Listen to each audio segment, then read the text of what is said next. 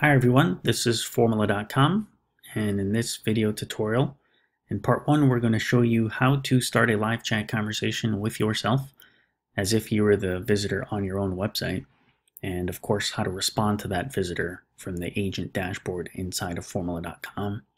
And in part two we're going to do a deep dive into the real-time visitor monitoring from the dashboard so you can see all the sorts of information that Formilla will show you about the visitors on your website and while you're chatting with them. So we'll get into that in part two.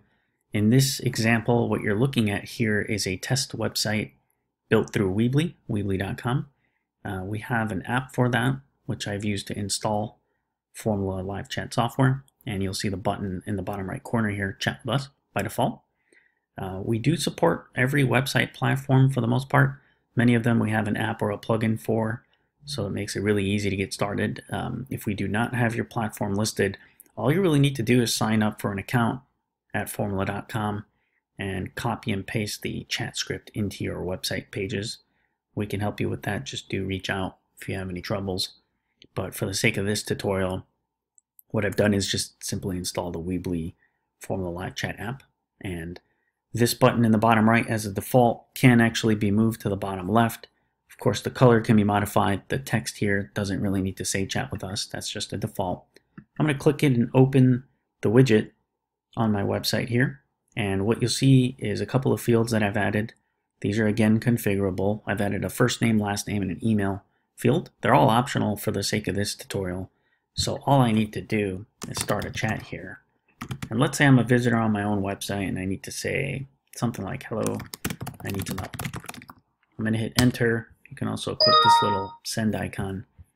And if you hear that beeping sound, it's telling me as an agent logged into the dashboard that I have an incoming chat message.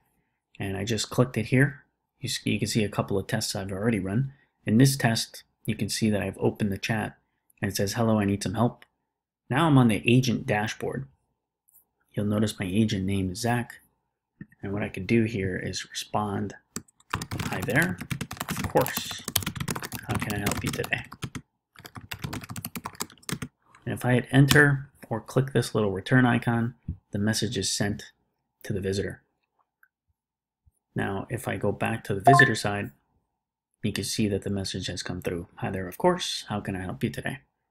That's it. So as soon as you have the Formilla Live Chat app or software installed to your website, be sure to give it a quick test, just like I showed you how, and you should be good to go. On to part two of this demo. And in this part, we're going to go through the agent dashboard some more, uh, talk about the real-time visitor monitoring feature, along with the other pieces of information that Formilla gives you uh, on the agent dashboard. Um, as you can see here, we're still on the test website from part one, where we started a live chat conversation with ourselves, just to mimic what it would be like for a visitor on our website to start a chat through the chat window here. So now that we're done with part one, I'm going to go ahead and minimize this chat and switch over to my other browser tab where you see the agent dashboard now. This is where you're going to spend most of your time chatting with customers on your website. So you want to make sure you're on the dashboard here. Uh, you'll hear sounds and alerts depending on your settings here. By default, sound will be played for new messages. Also on this web dashboard, you're going to hear sounds for new visitors. Now that might get a little annoying if you have a lot more volume where you're hearing a sound for every time a visitor arrives on your website. If you don't like that sound, you can just simply uncheck this box to disable that. And you can enable desktop notifications, which will show a little pop-up widget in the top right corner, depending on the browser you're using. Usually Chrome, Firefox, and Safari are compatible with desktop notifications. So that's how you configure your alerts in the bottom left corner. Um, as you saw in part one, when a chat comes in from a visitor, it'll come in here under this live chat tab. And if you select it, it'll show in the center pane here. So you see what website page that user initiated the chat. And in this case, since no information was provided by that user, you just see that it's a guest user number one. Since this chat conversation has already ended, I'm just going to go back to my visitors here in the top left and this is where Formilla will show you how many active visitors we see on your website. So Right now, since it's just me hitting a test website, there's only one visitor, and that's myself. And what you see in the center pane when you go to the visitors, you'll see them one row at a time here. If you select this, this data changes. This is like additional information for the visitor. But starting from the left-hand side here, you can see that this visitor is in the United States using a Macintosh and Google Chrome version 70 for a browser. Um, it's a returning visitor instead of a new one. Since I've been to this test website before, it notices that I've been here before, so it says returning, and this visitor has been on the website for 12 minutes now. The page URL here is the page that the user is on. If you mouse over it, it'll show you the full URL, just like that. And whenever you see a ref, this is the referring source URL. So if that traffic came from Google or Facebook and they clicked over a link to your website, if we detect a referring source like this, it'll show up. Otherwise, you won't even see any URL underneath the page. Um, in the in the right column here, chat status, most of your anonymous visitors or any visitors will have no chat status. As soon as they're in a chat or decline the chat, or in this case, ended a chat, you'll see something here notifying you what state that visitor is in. And then as long as they're not in a chat, you can actually request a chat manually. If you click this link, you can modify the default message, enter something that's more uh, relevant to that user's page. For example, if they're on the checkout page, maybe you can say something like, Hi, I noticed you're on the checkout page. Did you need any help purchasing? Something like that. And you just click send, and that message will go to the visitor on the uh, on your website. Since I'm not going to go into that here, I'm just going to hit cancel. So that's the center pane information.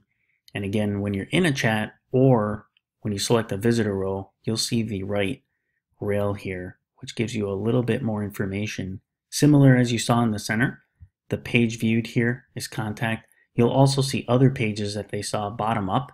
So if they came to your home page, then went to your about page, and now they're looking at the contact page, you'll see them all appear here.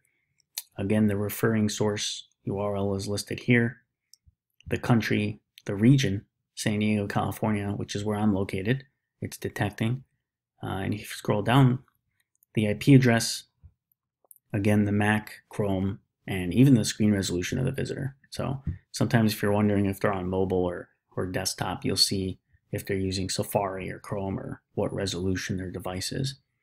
Um, and in the case you get a visitor that's kind of being a nuisance, you can even block them by their IP address. What that does is in the future, if they visit the website, um, it'll actually hide the chat so they can't start a conversation with you. One last thing I'll cover here. So when you're in a chat, and let's say in this case, since it's an anonymous visitor, uh, let's say you collect information from that customer, such as their name or their email or their phone. If you notice this quick edit link here, you can add that information email, first name, last name, and phone in this quick edit pop-up once you collect it and then save it. And what that'll do is add the information to the chat record so that if you ever go to your conversation history, you can uh, see who that was, the conversation you had with them, and so on. So hopefully that gives you a good overview of the visitor monitoring dashboard, how to chat with customers, and kind of the different uh, data that's available to you when you're on the dashboard. Uh, if you need anything, obviously uh, reach out to us at support at formilla.com and hope you found that useful. Thank you.